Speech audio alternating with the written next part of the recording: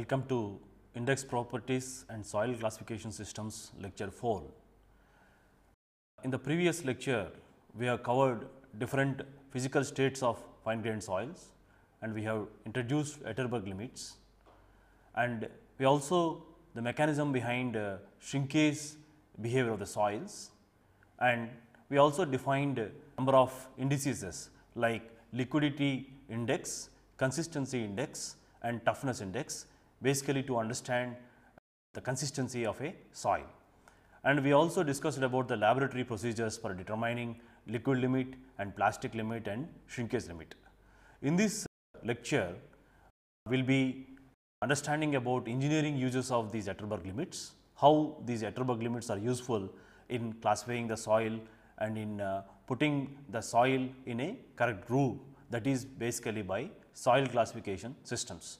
So, we will introduce to soil classification systems basically to group the soils which are exhibiting similar features, basically similar features in reference to exhibiting the similar properties. So, this is a lecture on index properties and soil classification systems 4.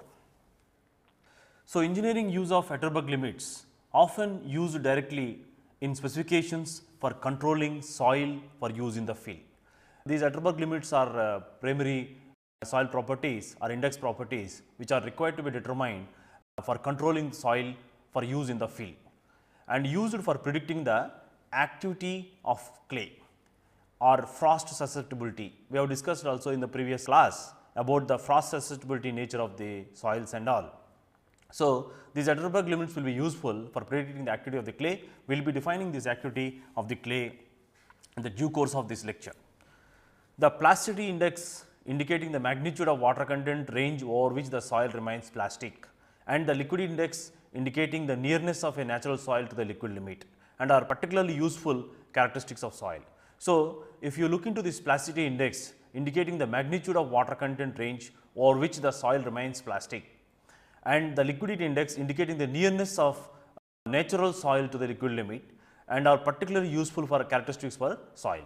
And ultimately, these Atterberg limits are used for classifying basically fine grained soils. Fine grained soils in the sense soils which are finer than silt, silt size particles. So, greater the liquid limit, we will understand that the greater the compressibility of the soil. What is the meaning of the compressibility of the soil and all we will be understanding in the due course of lectures, but the greater the liquid limit of a given soil, greater is the compressibility of a soil. And liquidity and consistency indices are good indicators of the consistent soil. If you wanted to understand about whether the soil is soft, stiff or medium stiff or very stiff or hard, you are required to know the liquidity and consistency indices of the soil. So, if you know the liquidity and consistency indices of soil, uh, they are the good indicators of consistency of the soil. The one limitation uh, which comes across with the Atterberg limits is the Atterberg limits will give no indication of the particle fabric uh, or residual bonds between particles which may have been developed in the natural soil, but are destroyed in preparing the specimen for the determination of limits. So, uh, one of the serious limitation is that uh, the particle fabric that is the soil fabric which was in the original state may not be represented in the tests which are uh, being uh, carried out in the laboratory by using the remolded samples. So, the Atterberg limits suffers from a serious limitation.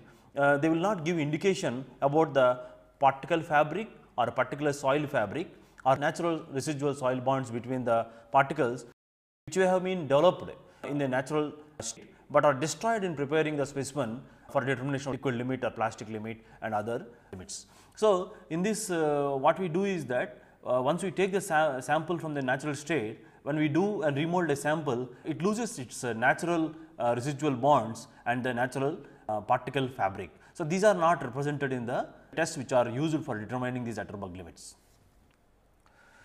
So, having seen engineering use of uh, Atterberg limits, let us define another important parameter activity or activity number.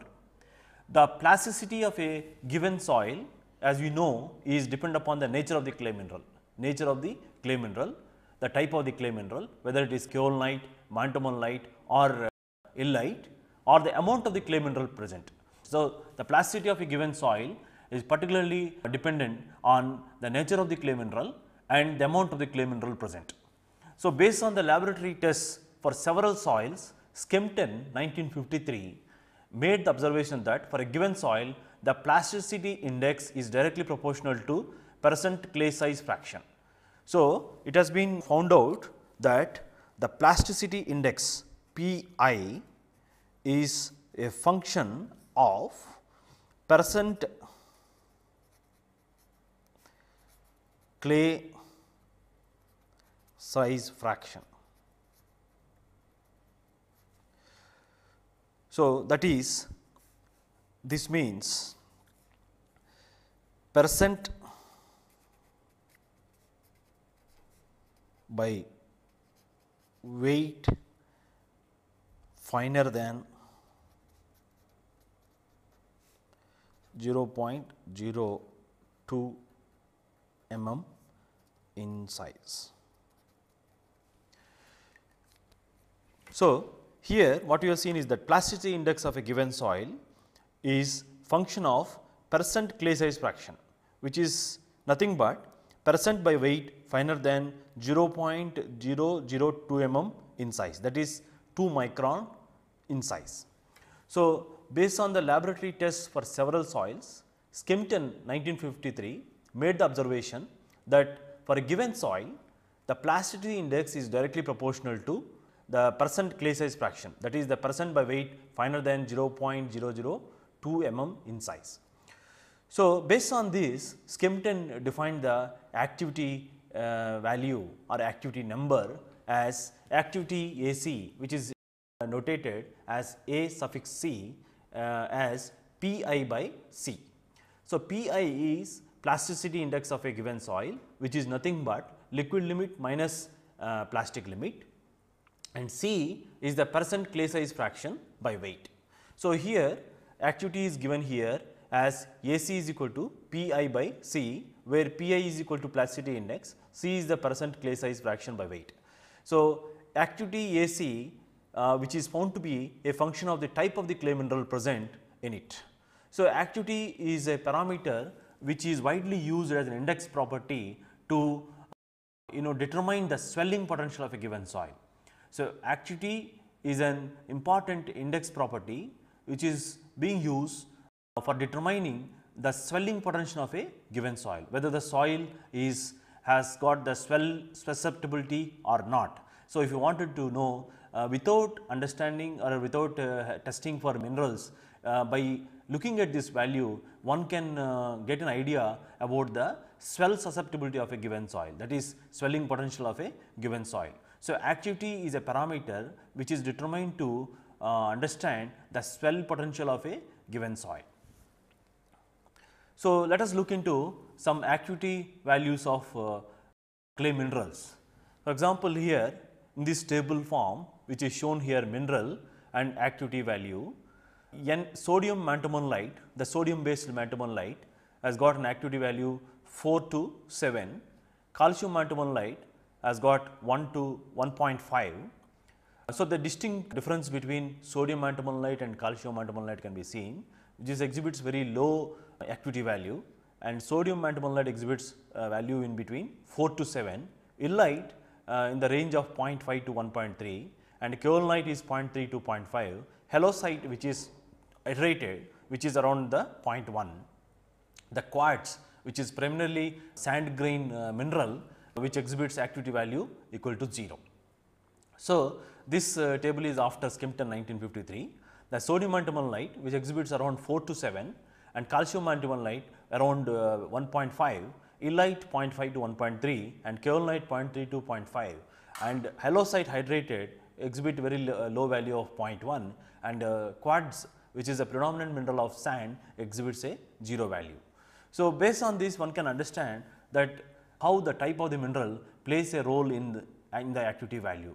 So, as we know the black cotton soils which are uh, predominantly having uh, montmorillonite mineral, uh, they exhibit very high activity values. For example, bentonite has got an activity value of around 7.2 that indicates the swelling potential of a, a particular clay under consideration.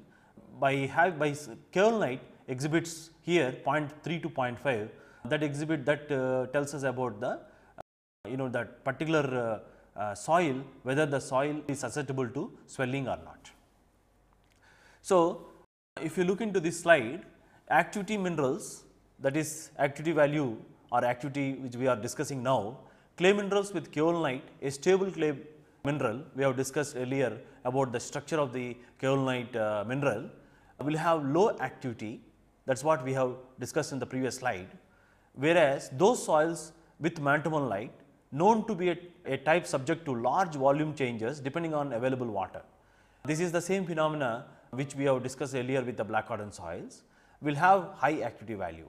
So, clay minerals with kaolinite a stable clay mineral will have low activity whereas those soils with montmorillonite known to be a type subject to large volume changes depending upon the available water and will have higher activity value. So, based on this um, the soil soil classification can be carried out by using activity values. So, so this table shows soil classification based on activity value where activity value and uh, classification is given here. If the activity value is said to be say less than 0.75 then the particular clay is said to be inactive and if it is in between 0.75 to 1.25 then we say that normally active clays that normal clays and greater than 1.25 is called active clays. So, for uh, clays containing uh, montmorillonite or predominantly say a bentonite soil can exhibit uh, activity value as high as 7.2. So, we have discussed that activity value which is nothing but a ratio of plasticity index uh, to the percentage clay fraction. So, with this we will be able to assess the swelling potential of a given soil. So, having seen the activity value now and understanding uh, having uh, tried to determine the grain size distribution of a given soil and plasticity characteristics particularly Atterberg limits of a fine grained soils. So, with all these things now it should be possible for us to group the soils. So, that we will be introducing now in the form of a soil classification systems. So, classification systems generally group together broad categories of soils that have similar features or properties which are considered to be of importance. Classification systems generally group together broad categories of the soils that have similar features or properties which are considered to be of importance. So, as a result a classification system is not necessarily an identification system in which all pertinent engineering properties of material are determined.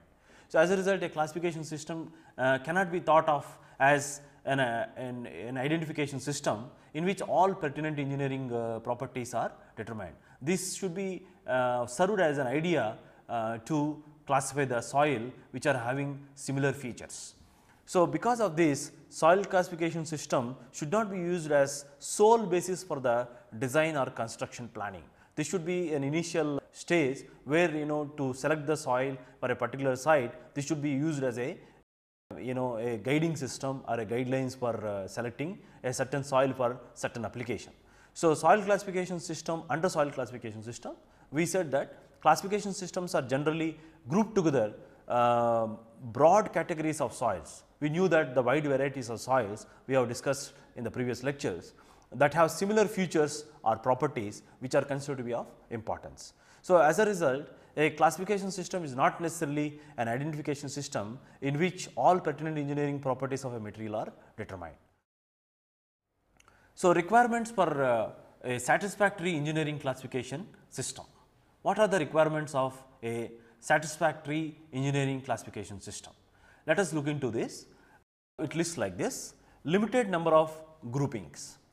So, we knew that there are uh, wide varieties of soils. So, limited number of there should be a limited number of groupings. So, that the system is easy to remember and use.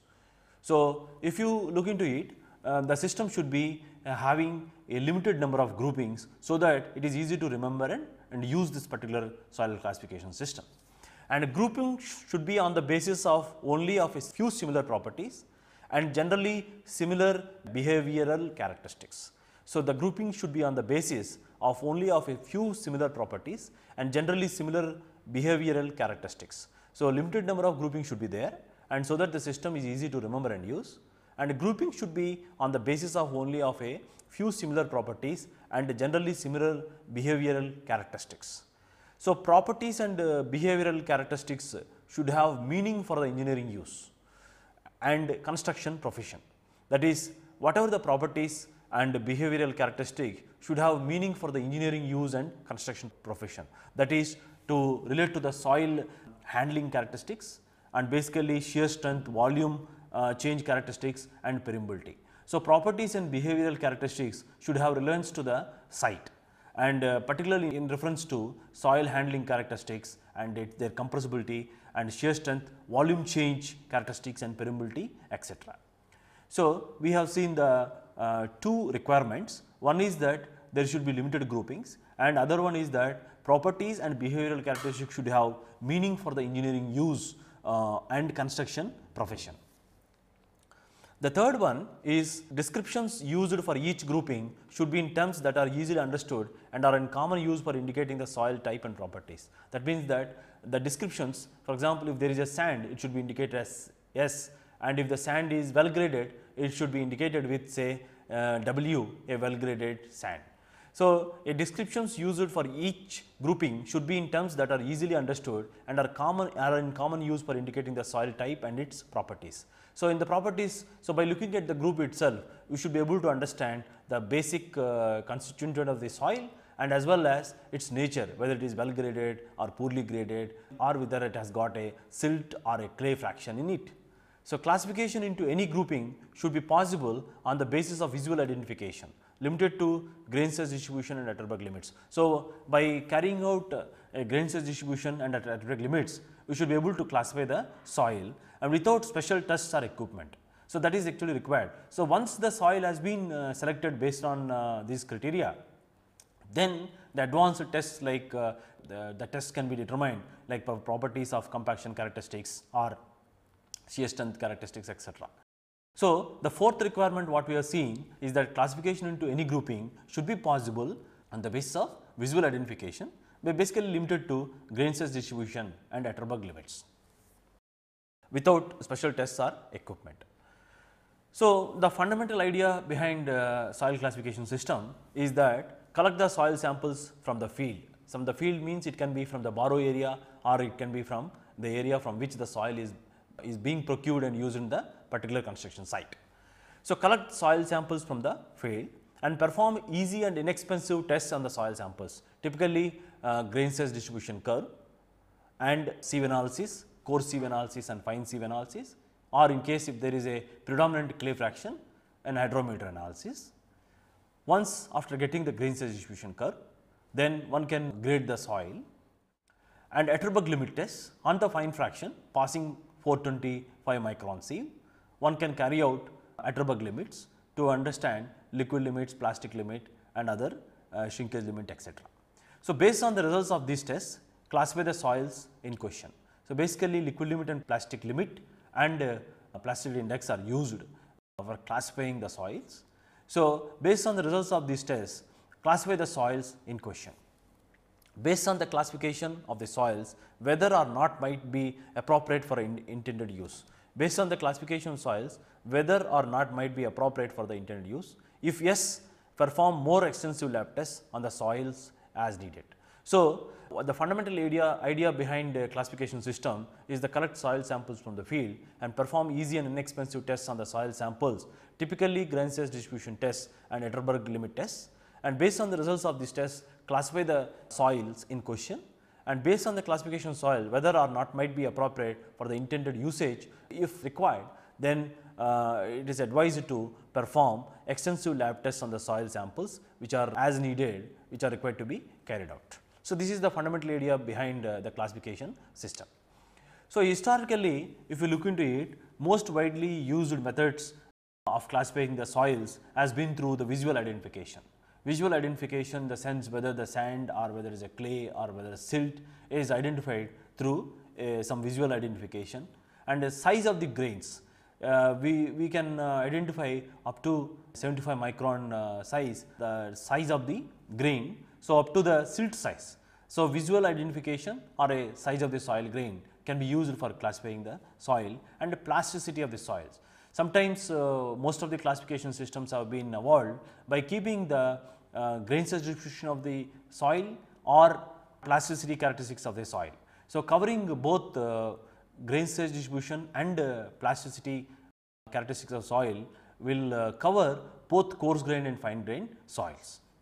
These are basically used as a basis for uh, indicating the soil type. So, visual identification and size of the soil grains and plasticity of the soil are used as a basis for indicating the soil type. For example, uh, if you look how to distinguish between silt and clay, both are fine grained and uh, because of the smooth texture sometimes silt soils are uh, confused with uh, clay size particles. Basically, silt size particles which are having uh, sizes greater than 2 micron to 2 microns and less than 75 micron that is less than 0.075 mm and clay uh, which is the colloidal fraction which is sometimes less than 2 micrometers. So, in that case uh, how to distinguish between these two typical soils let us look into some uh, typical identification methods which are used. So, if you see the methods which are used for uh, distinguishing silt and clay are as follows particularly the plasticity characteristics. If you look into this the silty soils are mostly non-plastic soils. So, they exhibit the low plasticity and clay soils which are plastic in nature. So, they exhibit very high plasticity. So, the clay soils exhibit high plasticity, the reasons have been discussed earlier. So, plasticity is one indicator uh, where we will be able to distinguish between silt and clay. Another one is that settlement rate. For example, if you take a jar of uh, uh, water and if you disperse uh, silty soil and uh, clay soil, the silt settles within 20 minutes, clay suspension uh, even takes sometimes uh, more than 24 hours. So, the dispersion rate or a settlement rate is very high for silt size particles because the particles are heavier in size. They settle within 20 minutes whereas the clay the liquid is still appears to be in muddy size because of the constant bombardment of the particles they remain in suspension for a long time. So, the suspension will remain even after 24 hours. So, the settlement rate is one indicator to distinguish between silt and clay. The other one is that the dilatancy the reaction to shaking Suppose if you take a soil in your palm and uh, with two different soils, uh, one is uh, silt type soil, another one is the clay type soil. The silt type uh, soil once you subject to the shaking with by little amount of water if you mix it to the silt soil and uh, allow it to shake, uh, the surface becomes shiny and the very quick reaction is observed for uh, clay size uh, clay, clay type particles and then uh, very slow reaction is observed for silt size particles. So, the reaction to shaking is high for silt size particles and low for clay size particles. Another one other uh, property which is uh, indicator for uh, distinguishing between silt and clay is the dry strength.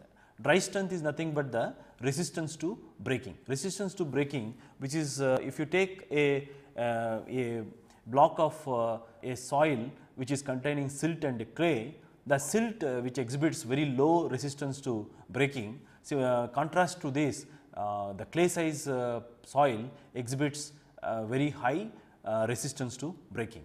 So, this dry strength uh, which is a function of uh, plasticity and the colloidal fraction content of the soil. So, higher the colloidal fraction content of the soil and higher the plasticity, the higher is the dry strength.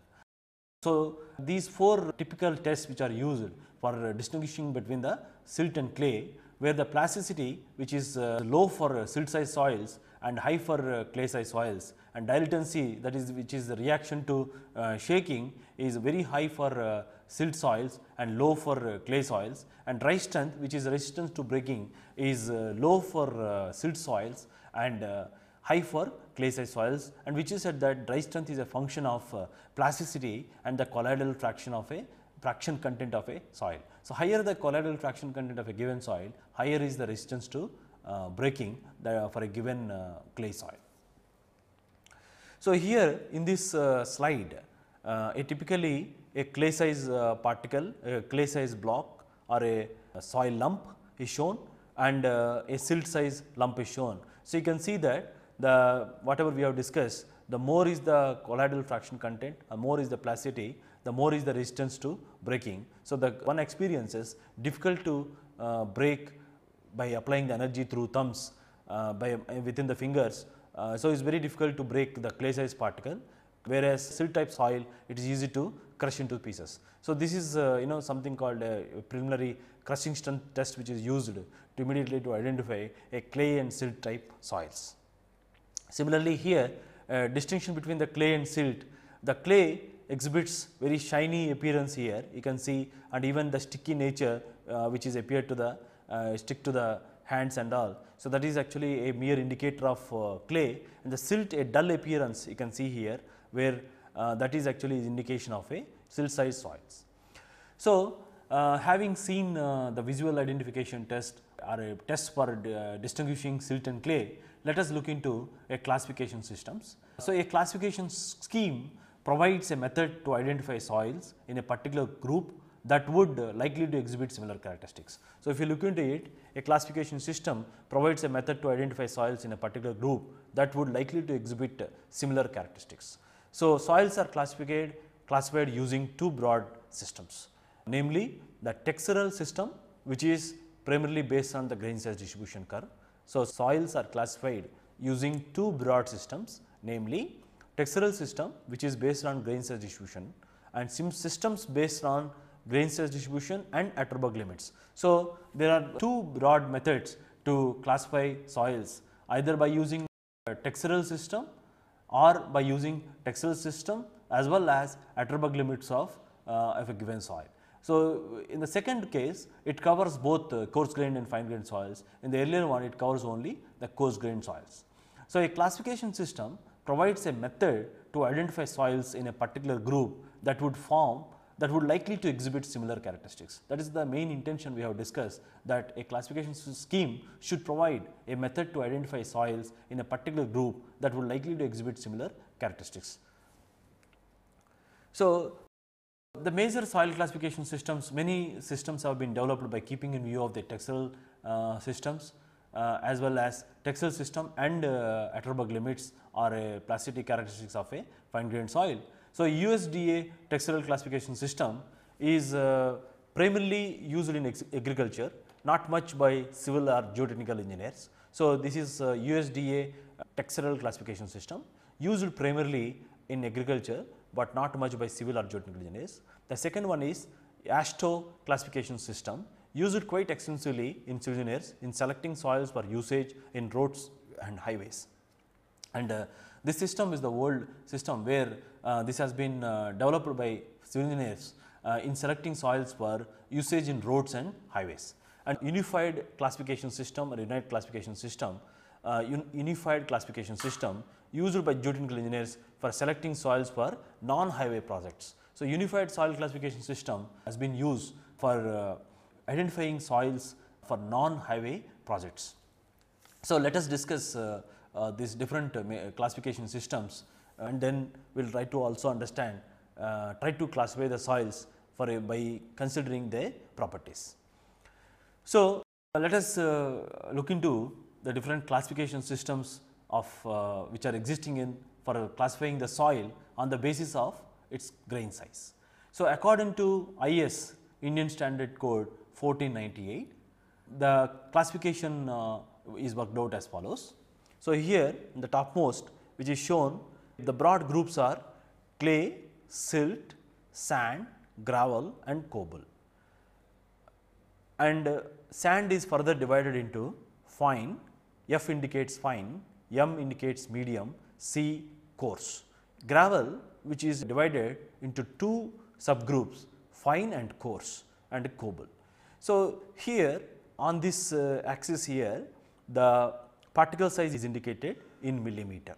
So, which is anything which is greater than 80 mm is said as cobble and uh, anything which is greater than 4.75 less than 80 mm is treated as gravel. So, 4.75 to uh, 20 mm grain size which is indicated as a fine gravel and 20 mm to 80 mm is indicated as a coarse gravel and a sand which is uh, ranging from 0.075 to 4.75 mm indicated with the different uh, subgradings like fine, medium and coarse. So, for example, fine sand which is ranging from 0.075 to 0.425 mm and medium sand is 0.425 to 2 mm and a coarse sand which is 2 to 4.75 mm. So, coarse sand has got a particles ranging from 2 to 4.75 mm and silt which is uh, classified if anything which is uh, greater than 0.002 mm and less than 0.75 mm is treated as a silt and a clay which is less than 0.02 mm is treated as a clay. According to unified soil classification system which is almost the IS classification uh, system is almost uh, similar to the unified classification system uh, except in typical sizes like 0.074 mm or 0.42 mm. So, similar groups have been made like clay, silt, sand, gravel and cobble. So, according to unified classification system 4.76 to 76 mm or sand which is 0.074 to 4.76 mm. So, there are similarities between uh, unified class soil classification system and IS classification system which is based on the grain size. Now, let us look into other classifications like ASTM classification and British standard classification system. According to American Society of Testing and uh, Materials that is ASTM soil classification system, this is slightly different where here uh, the grain size which is indicated in uh, mm from here onwards and uh, from here onwards indicated in micrometers. So, is uh, subdivided into colloids which are uh, finer than 1 micron and a clay which is ranging between 1 micron to 5 micron and silt which is ranging between 5 micrometers to 75 microns that is 5 microns to 0.075 mm. Sand which is uh, from 0.75 to 4.75 mm. So, the here there is no difference and gravel which is uh, cobbles have been removed and anything which is greater than 4.75 mm has been treated as a gravel in case of ASTM classification system. According to British soil classification system is slightly different where uh, is subdivided the groups are clay, silt, sand and gravel and cobble and uh, silt is further divided into fine, medium and coarse silt and sand is further divided into fine, medium and coarse sand and gravel again here it has got three subgroups fine, medium and coarse and cobble anything which is greater than 60 mm is treated as a cobble. So, here if you look into this uh, the silt size particles are uh, ranging from 2 micron to 60 micrometers and uh, sand which is from 0.06 mm to 2 mm is treated as a sand and uh, anything which is greater than 2 mm and uh, less than 6 mm is treated as a fine gravel and uh, the gravel which is again which has got a subgroup medium size gravel which is 6 to 20 mm and a coarse gravel which is 20 to 60 mm. So, we have seen the classification of soil on the basis of uh, grain size by using uh, four different methods that is according to Indian standard code and other one is uh, unified classification system and uh, uh, third one is ASTM so according to ASTM uh, soil classification system and the fourth one is the British soil classification system. Here what we have done is that once uh, the grain size distribution uh, system grain size distribution of a given soil is available. So, based on this it is easy, to uh, segregate the soil and uh, categorize uh, whether the clay content percentage clay, percentage sand or if uh, with the typical sizes we can even subdivide into groups like fine gravel, coarse gravel or fine sand, coarse sand or medium coarse sand. With this we can group the soil by with the help of its particle size or grain size. The next classification system we have introduced is the USDA uh, textural classification system. We have discussed that it is, has got much application in uh, agriculture, very little applications are there with uh, for civil engineers or geotechnical engineers. This system is based entirely on the grain distribution of a given soil sample. So, here in this uh, table which is shown here a soil type and diameter range. Cobbles and boulders is taken as greater than 75 mm in this system. The gravels range from 2 to 75 mm, sands ranging from 0.05 mm to 2 mm, silts ranging from 0.002 mm to 0.05 mm, clays which are anything which is less than 0.002 mm. So, this system is USDA textural classification system is based entirely on the GST of a given soil sample. And uh, they have got further uh, subdivided into groups like cobbles and boulders, gravels, sands, silts and clays. And the diameter ranges are which are given here where D greater than 75 mm is indicated cobbles and boulders and uh, sands in ranging from 0.05 mm to 2 mm.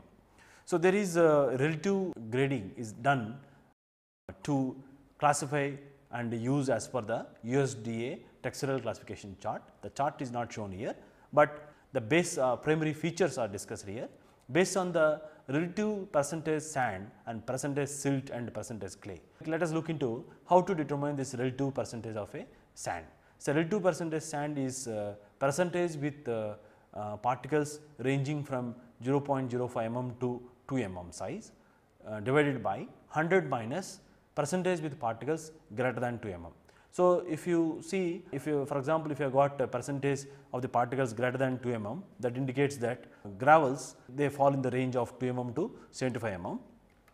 So, the relative percentage of sand is de determined like percentage with 0.075 mm to 2 mm divided by 100 minus percentage with particles greater than 2 mm. Similarly, relative percentage of a silt in a given soil is determined percentage with uh, particles ranging from 0.002 mm to 0.05 mm divided by 100 minus percentage with particles greater than or equal to 2 mm.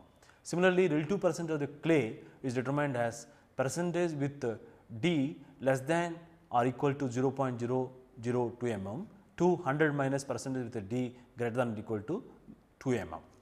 So, like this one uh, if we are able to estimate the relative percentage silt and uh, relative percentage of sand and relative percentage of clay, we, by using the USDA textural classification system, we can uh, classify the soil. So, having seen uh, this, let us look a simple a typical example to classify the soil by using USDA textural classification system. Let us consider for a given soil, assume that a percentage gravel is 18 percent and percentage sand is 51 and percentage silt is 22 and percentage clay is 9. This has been obtained from the grain size distribution analysis. So, uh, for a given soil it is given that percentage gravel is 18, percentage sand is 51 and percentage silt is 22 and percentage clay is 9. The solution is we have to determine as discussed earlier relative percentage sand which is nothing but percentage sand that is particles in the sand particle range from uh, 0.05 to 2 mm that is 51 divided by 100 minus percentage gravel. Percentage gravel means uh, particles greater than 2 mm this uh, here is gravel is 18 percent. So, 100 minus 18 that is 82. So, 51 by 82 into 100 is 62 percent. Similarly, percentage silt is 22 by 82 27 percent and relative percentage of the clay is 9 by 82 11 percent. According to USDA textural classification system, due to the presence of the 18 percent gravel in the soil, uh, it is called as a gravelly sandy silt. Gravelly sandy silt is the reduced classification uh, for this uh, type of the soil. So, in this example what we have done is that uh, based on the results obtained from the density distribution curve, we have graded the percentage gravel, percentage sand and percentage silt and uh, percentage clay. Based on that we have computed relative percentage of sand and relative percentage of the silt and relative percentage of the clay. And once after getting that and uh, by considering the presence of the uh, gravel, we reduced a, uh, a classification by using USDA classification system as a gravelly sandy silt. The next classification system as we discussed the a AASHTO classification system considers both texture that is grain size distribution curve and Atterberg limits. So, AASHTO classification system originally proposed in 1919 and uh, the system was uh, last modified in 1945. Uh, widely used as uh, highway and transportation by engineers. So, considers both texture, texture uh, and uh, Atterberg limits of a given soil and uh, originally proposed in uh, 1919 and the system was uh, last modified in 1945. Widely used by highway and transportation engineers. Performed uh, on that part of a soil sample that falls in the gravel to clay size range. So, very wide range it covers performed on the part of a soil sample that falls in the gravel and percentage clay size range. So, once the group classification has been formed, a so called group index can be computed to further classify the soils within the group. So, in AASHTO classification system, the soils have been uh, ranging from uh, percentage gravel to percentage clay have been covered and uh, both texture as well as uh, Atterberg limits have been used to classify the soil and uh, originally which is proposed in 1919 and the system was last modified in 1945 uh, and widely used for highway and transportation applications. The performed on the part of a soil that falls in the gravel to clay size ranges. So, let us look into what is the group index in the AASHTO classification system. So, here different groups have been termed like A, A1 and which has got two subgroups A1A, A1B, A2, A24, A25, A26, A27 and A3, A4, A5, A6, A75, A76 and A8. When you go from the uh, in the chart which is given from the left to right, the uh, requirement, the suitability of the soil for a particular application like as a subgrade uh, keeps on decreasing. And for soils with in the AASHTO group A3 or lower, the group index is uh, given by this expression Gi is equal to F minus 35 into 0.2 plus 0.005 LL minus 40 plus 0.01 F minus 15 to Pi minus 10. For soils in A1 or A2, group index is equal to 0.01 into F minus 15 into Pi minus 10. In both the formulas, F is the percent of the soil sample passing the ASTM number 200 C that is 75 micron size. So, the group index which is uh, basically in the AASHTO classification system is a function of grain size distribution and shape and the surface area of a uh, given soil particles. So, the chart which is not shown here, uh, but which has got primarily uh, different AASHTO groups like A1A, A1B, A2, A24, A25 and A26, A27, A3, A4, A5, A6 and A7, A75, A76. So, based on the grain size distribution and Atterberg limits, we have to use the elimination process from the left to right and uh, we have to arrive at a suitable group uh, for a given soil. So, for that once we should uh, for this uh, the requirement is that we should have a grain size distribution of a given soil like percentage clay, percentage silt and percentage sand. Once we have that uh, based on the Atterberg limits and this grain distribution curve uh, by using a eliminating process we keep on working from the from the chart by using the chart from left to right hand side and arrive at a uh, certain group and uh, based on uh, these properties properties in the sense both grain size distribution and liquid limits liquid limit and plastic limit arrive at the group index and once this group index is known with this group say for example if so happened that A76 is the group and the group index value is say 40. So, the classification worked out to be A76 within the parenthesis 40. So, that is the classification of the given soil and which, uh, which is used for uh, classifying the soil based on AASHTO soil classification system. So, the group index which is uh, a, a, means of rating the value of soil as a subgrade material within its own group. So, group index we, we said that is a function of grain distribution curve and uh, surface area and the shape of the soil particles and which is also a me, uh, mean of uh, rating the value of a soil uh, as a subgrade material within its own group. Higher the value of the group index, uh, poorer is the quality of the material. For example, the group which is uh, A75 and A76 they indicate the clay subgrades and A8 which is the peat subgrade in the group. So, higher the value of the group index, the poorer is the quality of the material. So, that uh, also indicates about the, if you are indicating a particular uh, group classification with higher uh, GI value that is group index value that indicates poorer is the is the quality of this upgrade.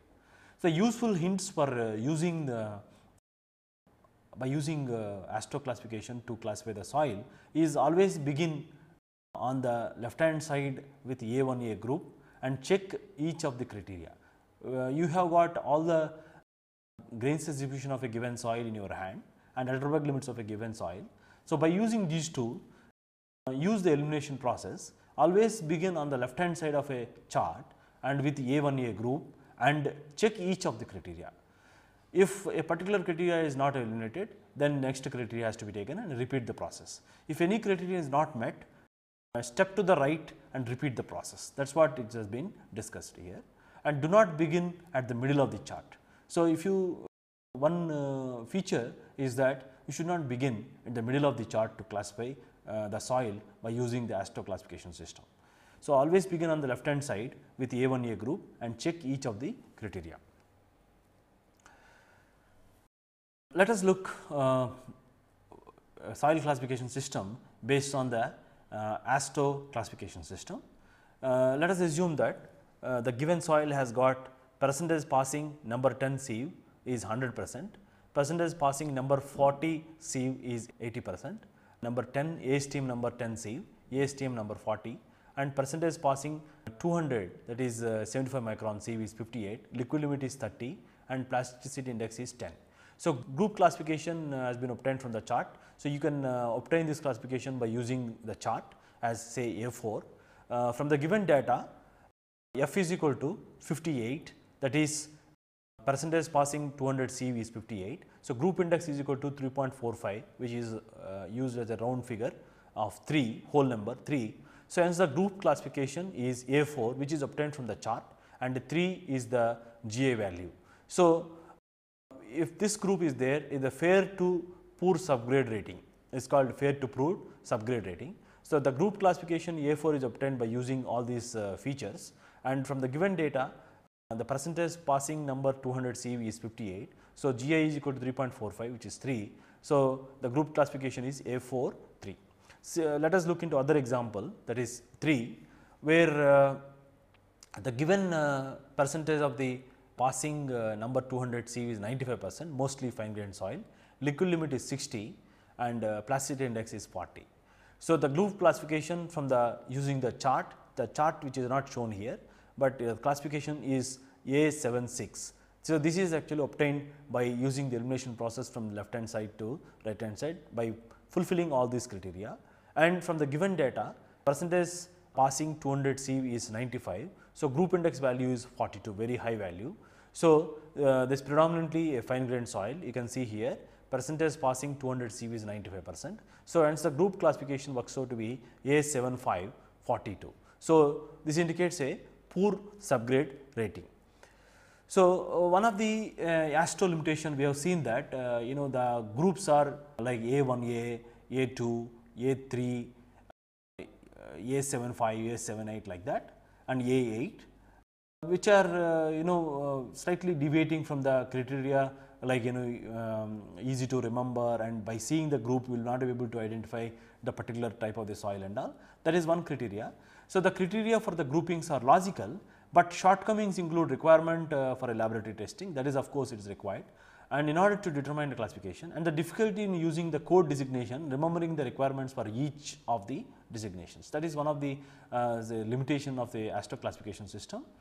Uh, the criteria for the groupings are logical, but shortcomings include requirement or uh, laboratory testing in order to uh, determine a classification uh, and the difficulty uh, in using code designation and remembering the requirement for each of the designations. So, in this class what we try to understand is that we have tried to understand the engineering use of the Atterberg limits and we also defined the activity value and we also said that the active value is an important parameter to indicate the swelling potential of the clays. Then we introduced classification soil systems and uh, different soil classification systems which are based on texture as well as Atterberg limits and we tried to introduce and discussed about AASHTO classification system. In the next class we will be seeing the in detail about the unified classification system.